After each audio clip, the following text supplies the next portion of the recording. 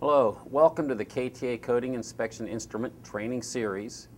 This is one of many modules that are available to you. You can find all the modules at kta.com or paintsquare.com. This module describes the use of the PosiTector dew point meter. The purpose of the dew point measure is to help you measure the ambient conditions, those being surface temperature, air temperature, relative humidity, and dew point. You do this in order to make sure the surface is being prepared under proper conditions so it won't rust, for example, or that the coatings are applied and cured under proper ambient conditions. All right, to turn on the dew point meter, press the middle button firmly. As it's ramping up, I'll take the cap off the surface temperature probe. It'll take about oh, 10 or 15 seconds for the readings to stabilize. You see a lot of numbers changing right now. That's while it's stabilizing. While that's happening, I'm going to go ahead and take a surface temperature by pressing the probe onto the substrate. Lift it up. Now to lock my readings in place, I push the plus button.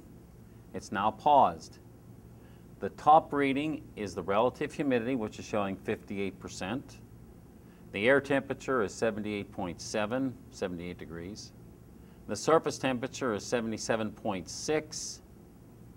The dew point is 62.9 degrees. And the spread, the surface temperature dew point spread is 14.7 degrees. If I hit the plus button again, it takes it off of pause, and I could take other readings. Another feature, if you want to change from Fahrenheit to uh, centigrade, I'm on the middle, I push the middle button to pull up the menu.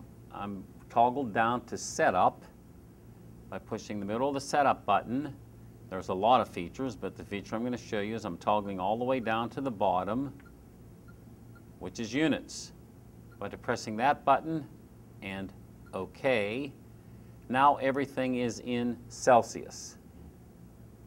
To get back to Fahrenheit, push the middle button, toggle down to setup, push the middle button, toggle down to units, push the middle button, hit OK, I'm switching it, now we're back to Fahrenheit.